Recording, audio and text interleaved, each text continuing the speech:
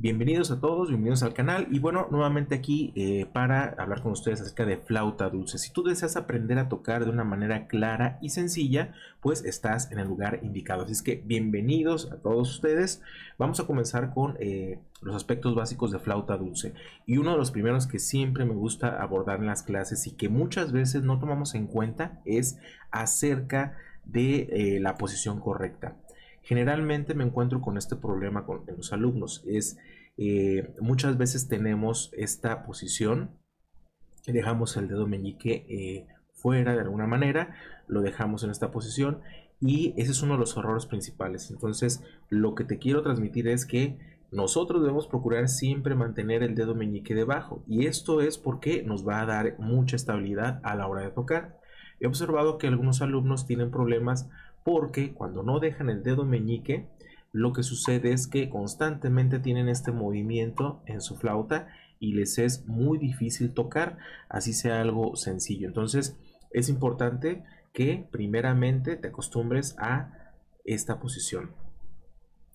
No debes hacer fuerza, porque ese es otro también de los errores que cometemos al, eh, trabajar con el instrumento, con la flauta dulce, es que eh, tensamos, incluso apretamos como si fueran las cuerdas de una guitarra y esto no debemos hacerlo.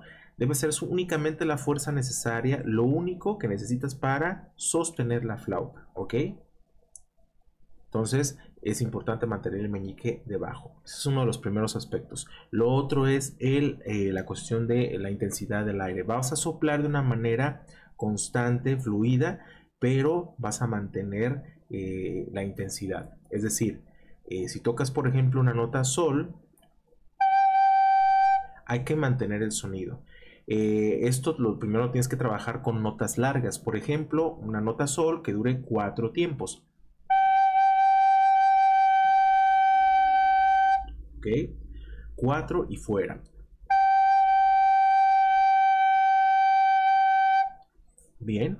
Ahora, uno de los errores también que cometemos, eh, esto, eso es muy, muy común, cometer eh, estos errores. Déjame aquí checar, ahí está. Ah, lo, que cometemos comúnmente, que no, ponemos atención en eso, es ah, la intensidad con la que soplamos. Muchas veces soplamos demasiado fuerte. Cuidado con tus oídos. Ahí va. Y lo que hacemos es soplar tan fuerte que resulta un sonido este, bastante agudo, chillón, desagradable.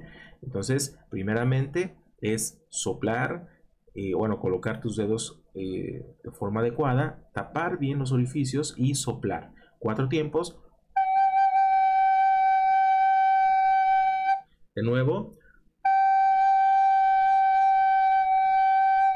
La clave para tener éxito en estas, en estas primeras notas en flauta es precisamente tocar notas largas. Entonces, vamos ahora con un La, dos, orificios y por supuesto también estamos tapando este orificio en la parte de atrás, ¿ok? El sol con los primeros tres orificios más el de la parte de atrás, ¿ok? Nuevamente el sol, cuatro tiempos y... Ahora vamos con la nota La, los primeros dos orificios también en la, en este, parte de atrás y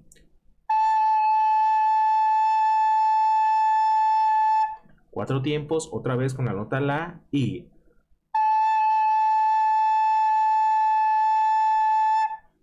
Muy bien, ahora con la nota Si, una vez más, vamos a colocar esto y recuerda en todos los casos, tanto en Sol, en La y en Si, estoy manteniendo el dedo meñique debajo, ¿ok? La nota Si, con primer orificio, tapamos y también en la parte de atrás comenzamos y Ahora vamos a hacerlo de esa manera, sol, la, si, en secuencia. Eh, voy a modificar un poquito aquí. Sol, la y si, en ese orden, ¿ok? Déjeme aquí ponerlo un poquito más grande. Y bueno, vamos con esta secuencia. Sol, la, si, así de sencillo. Y tomamos aire, la, aire y si. Otra vez, vamos de nuevo. Cuatro tiempos sol, cuatro la, cuatro si. Uno, dos, 3.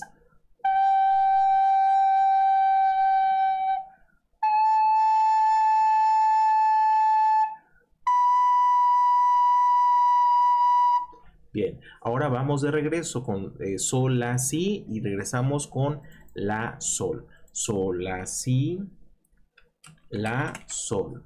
¿Ok? Sol, la, si, la, sol. En ese orden. Vamos de nuevo. 1, 2 y...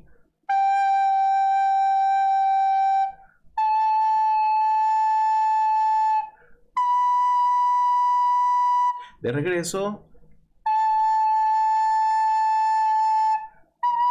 y sol terminamos con sol.